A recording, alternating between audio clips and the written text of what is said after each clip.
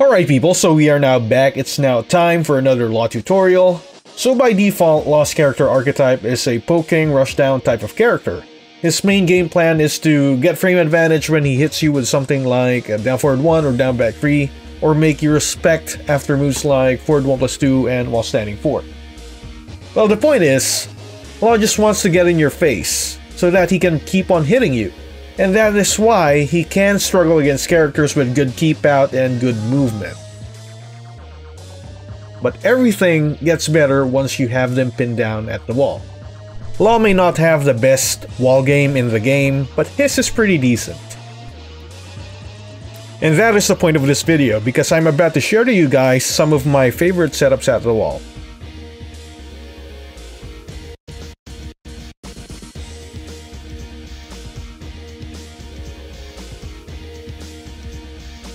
So the first wall splatting move that I like to use would have to be 1, 2, 3. 1, 2, 3 is a 10 frame counter hit wall splatting string. It starts with a jab and that is why it is 10 frames fast. So your goal would be to land this at the wall as a counter hit. And that is pretty simple to set up, given that this move is already fast. So if you know that they're gonna do something that's slow that's not a high crush, you can just challenge that move with 1, 2, 3. And then you now have a wall splat. You can pretty much frame trap someone with this move as long as you have a slight frame advantage. So for example, when you're jabbing their face at the wall, some people will try to jab you back because they think that you're gonna follow the jab with a down forward one. Let's just say that's the case. But because the jab puts you at plus one, then everything they try that's not a high crush will just get beaten by the 1, 2, 3. And now you have the wall splat.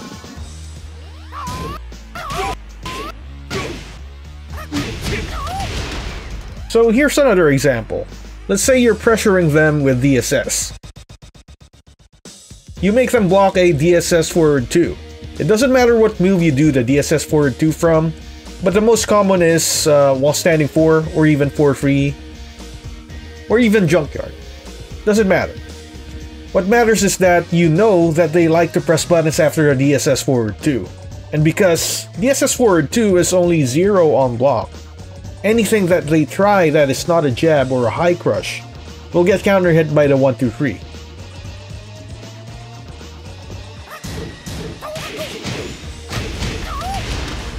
The frames do not require you to be always at plus or 0. You can still use this, let's say, at a slight minus situation, say minus 1 or minus 2. Moves like 1 2, down forward 1, and for up 3 put you at minus 1 on block. And the move forward 3 plus 4 puts you at minus 2.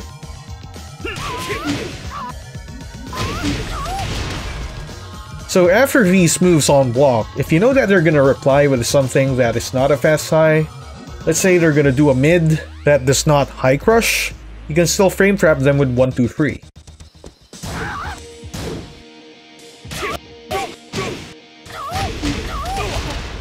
So aside from using this move to frame trap, there's another way to use this move. Well, the goal here is to catch the second hit of their string. Our goal is to counter hit that instead of counter hitting the first hit. So how are we gonna do that? Well, the answer is by using movement. As long as you have enough frames to either backdash or step away from the first hit, you can still try to counter hit the second hit with 1, 2, 3. Well, I hope that makes sense. Here I'm gonna show you more examples.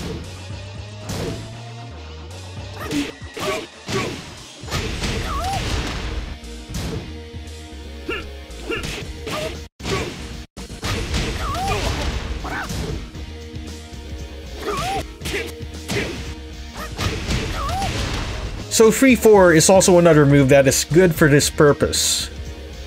Well sure, it's not as fast as 1-2-3, but it does not require a counter hit in order to wall splat. A 12 frame move is still fast enough to wall splat them after stepping.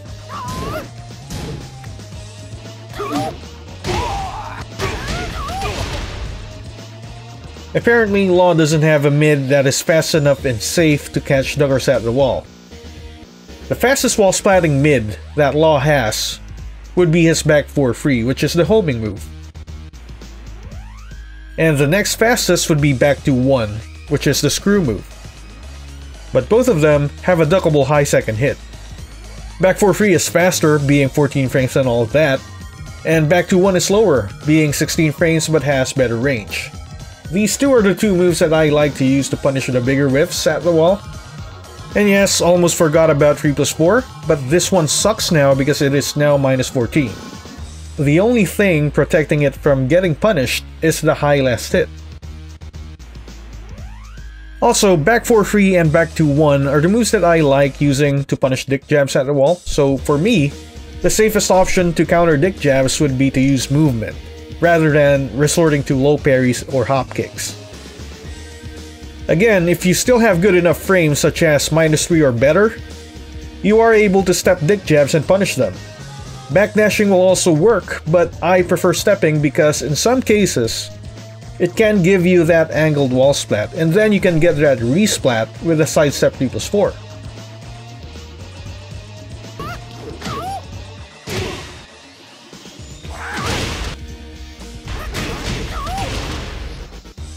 So far, the safe wall splatting mids would be back 3 and poison arrow. But their weakness is that they're slow.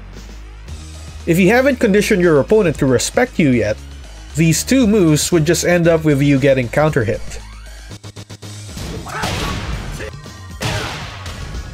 Back 3 is just there to provide a safe alternative to catch steppers rather than using the duckable back 4 free. And Poison Arrow, we're about to get into that right now. So Poison Arrow, along with down back 3 and forward 1 plus 2, are the best pressure moves that Law can do against his opponents at the wall. But let us talk about Poison Arrow. Why is Poison Arrow so good that you need to be using it more? Well, first is because Poison Arrow already wall splats on regular hit. And second, if it is blocked, then it puts Law at plus 5 to still mix the opponent up. And third, you can do it from DSS, given that you have already conditioned them to respect DSS. Now, there are different ways that the opponent can react to a blocked poison arrow. Remember that Law is at plus 5 in this situation, so first, if they still want to press buttons despite them being at a frame disadvantage, a good safe move to catch them pressing would be down forward 2. You can also do 1, 2, 3, but I would prefer down forward 2 since it also hits sidesteppers and crouchers. However, 1, 2, 3 is very useful to avoid getting flashed by Yoshimitsu. As long as you have enough plus frames, I mean plus 4 or even better, there's no way Yoshimitsu can flash 1, 2, 3, so remember that. 1, 2, 3 is very very good to avoid getting flashed. So back to down forward 2. People who don't respect and people who step are gonna get wall splatted by this move. And note that the wall splat you get is a high wall splat. So you can add an extra 4 before you do the regular wall ender. People who crouch are still gonna get hit, but they will not get wall splatted. This is because the down forward 2 does not launch crouchers. But Law is still put at plus 4, so it's completely up to you on whatever you want to do with that plus 4. But let's say that you want an option that's still gonna wall splat crouchers, steppers, and also button pressers. You have back 4 free. So if a block poison arrow puts you at plus 5, and if this one is 14 frames fast, then it cannot be interrupted by anything. But of course, this is much riskier than using down forward 2 because they can duck the second hit of back 4 free. And that is why it's a good idea to first see how they react to back 4 at the wall. So try throwing out a couple of back fours to check how they react. If you see them do the slightest duck, then you know what you're up against. You probably shouldn't be using back four free. But that also means that back turn mix-ups off the back four will not get interrupted, so take advantage of that. So the second way that they can react to a block poison arrow is by not pressing buttons at all. It means that they respect you being at a plus 5 advantage. So they can either remain standing or duck. So you can do another poison arrow. Either way, it's good.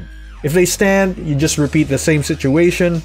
But if they duck, then there goes their ass to the wall. If they just stand there, you can also do down back 3 as a low to chip them down and still remain at a frame advantage. And don't forget that you also force them into crouch. And down back 3 will also cover stepping. So another low that you can use is down 4 free. And because Law is at plus 5 and down 4 free is 15 frames fast, the down 4 free will only trade with jabs and beat everything else that they may try, unless they duck. So like down back 3, this will also track steppers should they try to step you. Dragon Hammer forward 1 plus 2 at the wall is also good. Like Poison Arrow, it also puts Law at plus frames on block, and Law has the option to go into crouch to threaten with while standing 4 into DSS2. But if you can't do the while standing 4 into DSS2 due to lack of execution, you can do while standing 1-2, and that would also cause a wall splat. But the thing is that while standing 1-2 is 13 frames fast, and keep in mind that at plus 3, a jab or a dick jab would trade with it. So I would recommend practicing the wall standing 4 into DSS2 instead if you want to wall splat people who press buttons after a block Dragon Hammer. But if they don't want to press buttons, then you can still do the slide to knock them down. And then after that, you get your free grounded free. If they want to do get up kicks, you can just backdash and go for a whiff punish.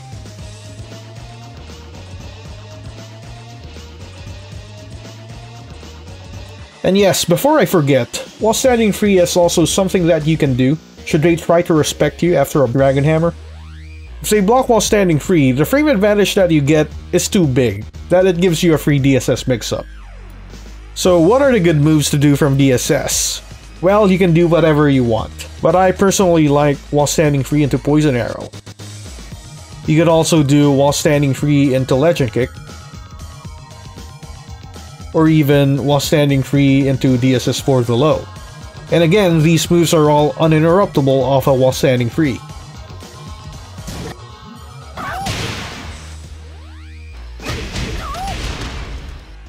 So aside from a Dragon Hammer, forward 1 plus 2, another move that would put Law at plus 3 and then crouch is back turn down free. This move actually looks very innocent, but it's like the equivalent of Law's Dragon Hammer from Backturn. Now, why did I say that? It's because, after you hit them with this move, note that it also has the same advantage as a Dragon Hammer, which is also plus 3, and also puts you in crouch. Therefore, you can do the same options off a Dragon Hammer that we just talked about, which are the wall Standing 4 into DSS2, Slide, or a wall Standing 3. Well, you get the point. Okay, so moving on. So we talked about the slide already, and what you can do after the slide hits. But note that, of course, we can also do a slide mix-up. So the easiest mid-wall splat option from a slide feint would be to use while standing 1-2. But the danger to that is that they can duck the second hit. Well, some really good players are able to hit confirm this move, but it is very hard. And because of that, what I do instead is the forward forward 2 of a slide feint. And how you do it is like this. The input is kinda long for me to say it, so I'm just gonna put the notation on screen. The advantage of doing forward forward 2 is that it's easier to hit confirm. So you can just do the full forward forward 2 free once you see the first hit hit. So next we want to talk about Law's wall bounce moves, of course. This is not going to be a wall game video if I were to forget about the wall bounce moves. So we already know about Law's Season 4 buff, in which he gained a wall bounce property off his two 1 plus 2 extensions off many moves. So earlier we talked about setting up the 1-2-3 counter hit off the 1-2 and the DSS forward 2, should the opponent try to press buttons after those moves. Well, you could also do the 2 1 plus 2 extension off both these moves. If the 2 landed as a counter hit, then the 1 plus 2 is guaranteed to wall bounce the opponent. But remember, if you made the wrong read, this is punishable at minus 13 on block, and that is the reason why it is a good idea to mix it in with a 1-2-3. So the next move is the Dragon Cannon forward forward free. This is also a power crush. This move is a lot easier to set up from DSS so you would rather do this as DSS forward free instead. Well, unless you're good in timing their attacks. Very well, the armor for this move activates at the 8th frame, so in order for you to set this up, you would need to be at least at a minus 2 frame disadvantage. So you can set this up off 1-2 or 1-1-2 or even the multiple punches 1-1-1-1-2, but there is actually no point now, since there is already a 2-1 plus 2 extension that also wall bounces off these moves. The 2 1 plus 2 extension is a lot safer to use because it is safer on block and it eliminates taking damage from armoring through an opponent's move. But the Dragon Cannon setup was the one I used before, before Law got the Season 4 buff. So, where else can we set this up from? Well, there is another move that comes into my mind, which is while standing 1-2. Of course, you would need them to not duck the second hit, and if you guys don't know it yet, this move is actually plus 4 on block when you transition it into DSS. So you can use this as a power crush setup for people who don't know that while standing 1-2 is safe.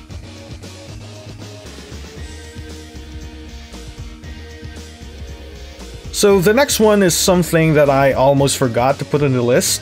Law yet another ace up his sleeve.